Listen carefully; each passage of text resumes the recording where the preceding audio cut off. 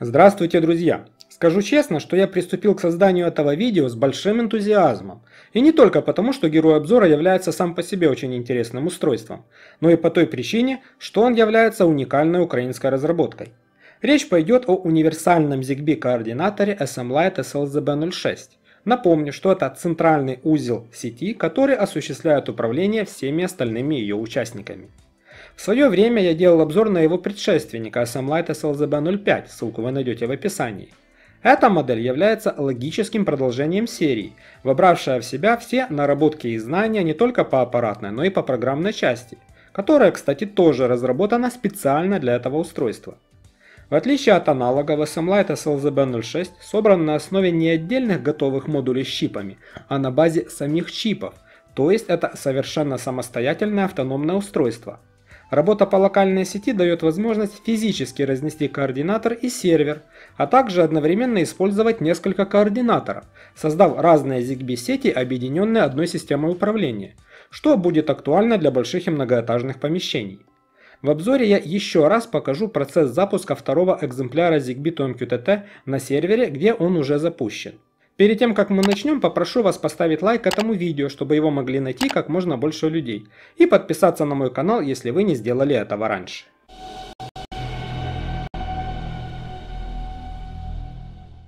Модель SMLIGHT SLZB-06. Тип устройства координатор для ZigBee сети. Интерфейсы Ethernet 100 Мбит, Wi-Fi 2,4 ГГц, ZigBee 3.0. Вместо ZigBee можно использовать Bluetooth, например, как прокси-сервер для ESPHome, но в этом видео я не буду поднимать этот вопрос. Питание USB-C или Power over Ethernet и FFF 802 3AF. ZigBee модуль CC2652P. Управляющий контроллер ESP32. USB UART конвертер CP2102. Ethernet LAN 8720. Размер без антенны 160 на 24 на 28 мм. Антенна плюс 5 дБ 195 на 12 мм. Поставляется устройство в коробке с фирменным дизайном от SM Lite. Другие мои обзоры на их устройства вы можете найти в описании под видео. Замечу, что производитель с большим вниманием относится к своему продукту, это видно даже в мелочах. Сзади указан номер модели и базовые характеристики, про которые я уже рассказал. Также тут перечислен комплект поставки, про который я отдельно скажу несколько слов. Вот так выглядит содержимое коробки. Как видите, все продумано. Где нужно, сделаны крепления, по коробке ничего не болтается. Доехало все в полной целости и сохранности. Срок доставки зависит от вашего местонахождения и торговой площадки. Все места, где можно приобрести устройство, перечислены в описании под видео. Теперь о комплекте поставки. Кроме координатора и внешней съемной антенны к нему, в коробке нашелся шаблон для разметки крепежа, сам крепеж два небольших самореза, отвертка к ним. Кроме этого, есть две пластинки двустороннего скотча, которые можно использовать вместо саморезов. Еще одна приятная мелочь – переходник с microUSB на USB-C. Например, если у вас есть лишний блок питания с microUSB, который вы хотите использовать для питания устройства. Координатор выполнен в виде довольно длинного 16 см безантенны стика. За счет этого он получился очень узким, чуть более 2 см. Антенна добавит еще почти 20 см, но ее можно повернуть под углом в 90 градусов. Корпус, созданный специально для этого устройства, имеет множество отверстий для вентиляции. В верхней части находится кнопка, которая переключает режимы работы Ethernet и USB. В режиме USB дополнительно загорается синий светодиод. Для настройки Wi-Fi нужен веб-интерфейс, так как необходимо будет выбрать и ввести параметры для подключения. Обратная сторона имеет по краям специальные выемки, которые предназначены для установки на комплектные саморезы. Таким образом, координатор можно легко и быстро снимать и вешать. С одной из боковых сторон расположен разъем USB-C, который можно использовать как для питания, так и для обмена данными. А можно и вообще не использовать в Ethernet режиме с питанием в режиме PoE. Для разборки корпуса нужно поддеть чем-нибудь плоским нижнюю крышку. Она держится на защелках. Все достаточно надежно и при этом нет особенных сложностей с тем, чтобы ее снять.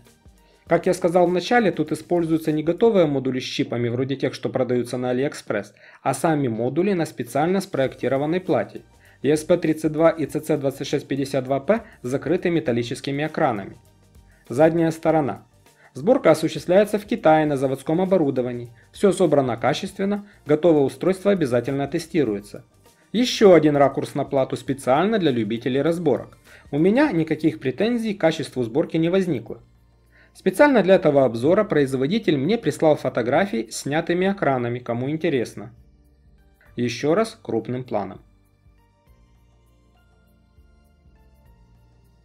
Для того, чтобы понять уровень потребления энергии, что может пригодиться для того, чтобы подобрать источник бесперебойного питания, я подал питание через USB кабель с встроенным ваттметром. Потребление изменялось в пределах 1, 1,1 Вт, что позволит питать его даже от самых простых бесперебойников в течение долгого времени. Ссылку на такой кабель я также оставляю в описании.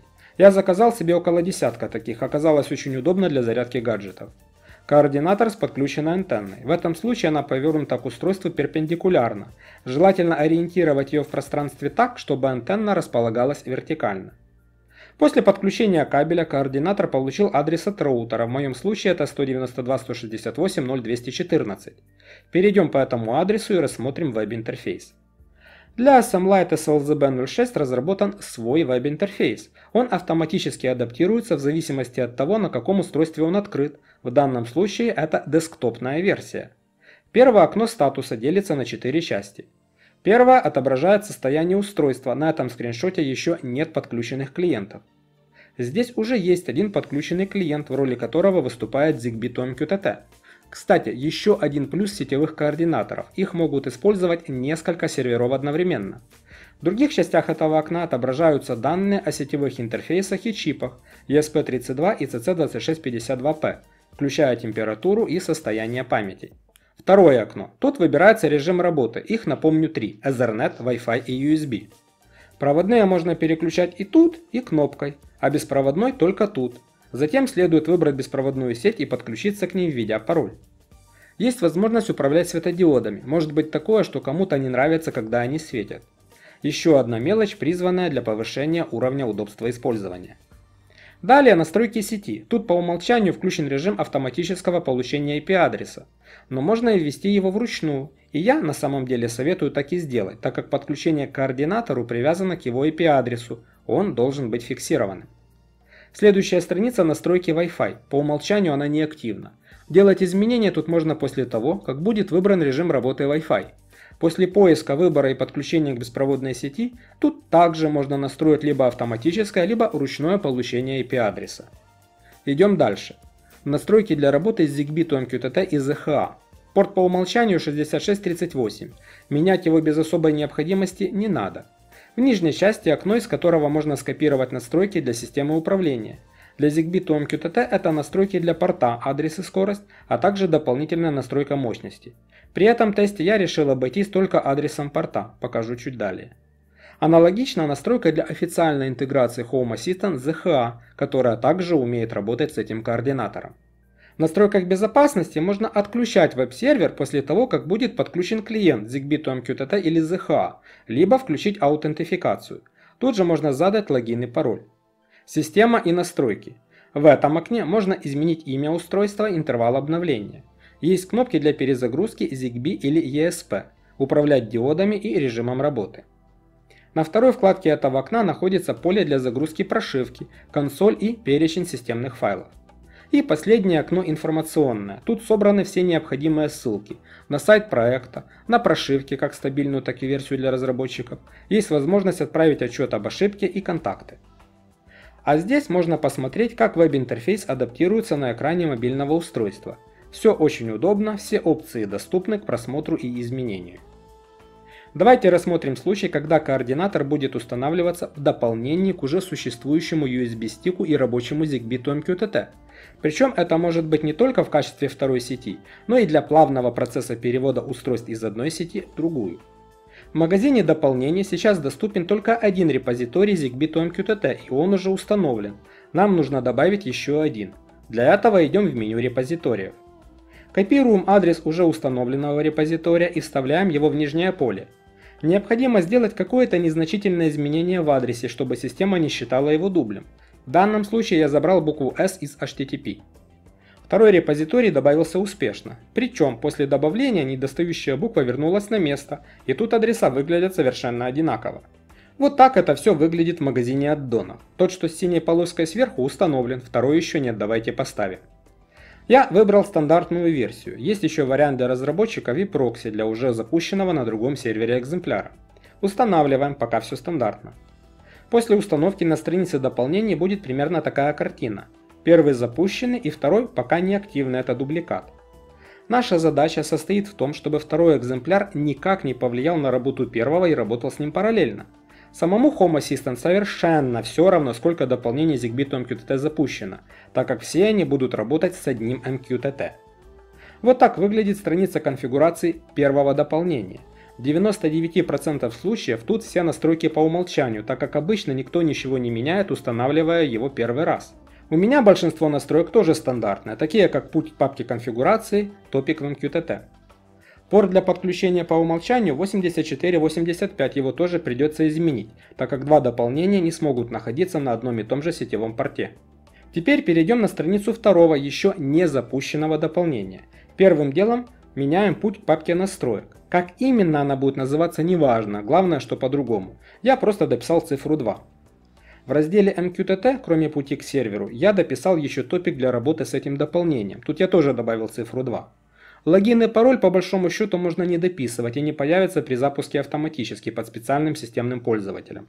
У меня в Mosquito сервере заведен отдельный пользователь, я указал его. Сетевой порт тут тоже особо не придумывал, просто указал следующий после первого дополнения. Главное, чтобы он был другой и свободен. Так выглядит мой вариант файла конфигурации для ZigBee MQTT у первого дополнения. Раньше все настройки хранились только в нем и это было удобно. Сейчас почти все перенесено в интерфейс, и проблема заключается в том, что не запустив дополнение, до интерфейса не добраться. Ситуацию исправляет только то, что старый способ все еще работает. Вот что я делаю. Дополнение еще не запущено, мы пока готовимся к его запуску. Создаем папку, путь которой указали в конфигурации. В ней создаем пока пустой файл configuration YAML. Если он будет, то при запуске аддон считает конфигурацию с него. В разделе MQTT дублируется то же самое, что указано на странице конфигурации аддона. В текстовом варианте этот шаблон вы найдете по ссылке в описании под видео. Далее указываем путь к координатору, его IP-адрес и порт, который указан на странице параметров ZHA и ZOM в веб-интерфейсе. Кстати, на странице конфигурации в интерфейсе я его пропустил. Это дублирование параметров немного путает, все-таки хранить в одном файле намного удобнее. А вот путь к папке указывается только в интерфейсе. Далее обязательно нужно изменить PAN ID сети, чтобы она не совпадала с той, что есть. По-хорошему и при настройке первого экземпляра лучше уйти от настроек по умолчанию. Канал можно не менять, но я на этом сервере использую 15 вместо 11, он тоже стандартный. Тут в сетевом ключе я для каждого дополнения меняю набор цифр. Просто в случайном порядке меняю одни на другие. Например 7 на 2, 10 на 8, 0 на 4. Каждый аддон имеет свой уникальный PAN ID и ключ. Остальные настройки могут быть идентичными. Ну что, теперь запускаем второе дополнение. Все, что можно для избежания конфликтов мы сделали. Включаем опцию Watchdog и отображение иконки в панели слева, теперь их две. Оба ZigBee to MQTT активны и запущены. Это первый экземпляр. Тут тестовая сеть, в которую подключаю устройства, по которым пишу свои обзоры. Тут подключено реле с энергомониторингом и ZigBee пульт с прямым биндингом. Обзоры на них вы найдете у меня на канале. Второй, только что настроенный нами экземпляр ZigBee to MQTT. Тут пока устройств никаких нет. Актуальная на дату видео версия 1.29.1. Прошивка ZigBee модуля от 19 февраля 2022 года. В разделе настроек в интерфейсе видим, что сюда подтянулся указанный нами в конфигурационном файле PAN ID, поэтому работающий первый ZigBee to MQTT не помешал старту второго. Топик MQTT тоже свой, на уровне брокера конфликтов тоже нет, каждый из дополнений живет своей собственной ветке и не мешает друг другу. Для теста подключим что-нибудь. Под руки попалась тестовая кнопка Xiaomi. Процесс подключения совершенно стандартный. Вот так выглядит структура топика в Mosquito брокере. В ветке первого аддона два устройства пульт и реле, у второго кнопка. Для Home Assistant тут свой топик, в котором будут устройства из обоих аддонов. У меня тут, кстати, еще и SLS шлюз живет, так что по факту три сети. Сам же Home Assistant не имеет никакого понятия, сколько сетей и координаторов на него работает. Ему это и не надо. Он работает с одной единственной интеграцией MQTT, которая и считает тот самый топик Home Assistant. А ветки устройств в нем создают оба аддона, а в моем случае еще и SLS-шлюз. Список устройств, тут их 5. Два с первого ZigBee to MQTT, одно со второго. Кроме этого SLS-шлюз и еще одно реле, подключенное к нему. Интеграция взаимодействует со всеми ними. Вот кнопка из второго аддона. А это реле из первого. При создании автоматизации устройства прекрасно работают друг с другом. Например, нажатие той кнопки может переключать состояние этого реле. Чтобы понятно было всем, покажу пример не в коде, а в конструкторе. Но я, как многие знают, приверженец написания автоматизации вручную. Кстати, координатор, работающий в сетевом режиме, может находиться не только в другой комнате, но и в другом городе. Если вы организуете канал передачи данных между ними, вполне сможете удаленно управлять его устройствами. Рассмотрим и вариант подключения координатора к штатной интеграции с ZHA. Устройство, кстати, определяется автоматически. Либо интеграцию можно выбрать из списка вручную. Еще важное уточнение. Один координатор не может одновременно работать и в ZigBee TomQT, и в ZHA. А вот два разных координатора могут. Свой первый экземпляр ZigBee TomQT я не трогал, остановил только второй. Тип радио выбираем сообразно нашему координатору ZNP. Адрес копируем из веб-интерфейса. Для частоты эксперимента я изменил IP-адрес, указав его вручную. Тут я выбрал «Стереть настройки и сформировать новую сеть». Финальный шаг – добавляется новый координатор. Теперь у меня не только две сети на этом сервере, но и две системы управления ZHI и ZigBee QTT. Если совсем точно, то три, так как есть еще и SLS. Вот так выглядит его страница интеграции ZHA. Можно приступать к добавлению новых устройств. Вот реле для DIN-рейки, про которое я рассказывал в одном из своих недавних видео. Его страница. Устройство управляется, данные по энергомониторингу есть. Все работает полностью в штатном режиме. Ну и кнопка та самая, которую подключал на второй экземпляр ZigBee MQTT. Ее страница. Как видно справа в логе, все работает, на нажатие возникают и передаются события. В первом экземпляре ZigBee MQTT я ничего не трогал. Реле и пульт находятся там и работают через интеграцию MQTT. А это пример автоматизации, в которой кнопка, подключена через ZHA, будет переключать реле, которое подключено через ZigBee to MQTT. С тем, что подключено в SLS, все точно так же. Для Home Assistant нет никакой разницы. Как мы видим, при помощи сетевого координатора можно решить массу задач, таких как создание дополнительной, второй, третьей, четвертой ZigBee сети для инсталляции с большим количеством устройств для больших помещений, в том числе многоэтажных или вообще удаленных при условии каналов связи между ними. Также при желании вы можете одновременно запустить ZigBee TomQTT и ZHA, если хотите сравнить, либо использовать какие-то устройства в одной, а какие-то в другой системе. ZH можно использовать стиком на чипе EFR32, а ZigBee TomQTT с героем обзора по сети. В общем, полная свобода действий, в зависимости от того, что именно вам нужно. Что касается Home Assistant, то ему совершенно безразлично, сколько у вас сетей и координаторов. Для него все устройства равноправные и могут взаимодействовать друг с другом через автоматизации. На этом все. Надеюсь, что видео было вам полезно и интересно. Буду благодарен за ваши лайки. Это поможет другим людям найти это видео. Если вы не хотите пропускать новые обзоры, подписывайтесь на мой канал.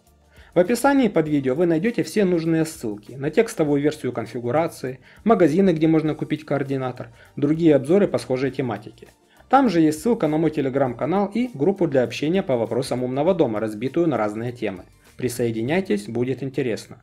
Спасибо за внимание, до новых встреч, всем мира!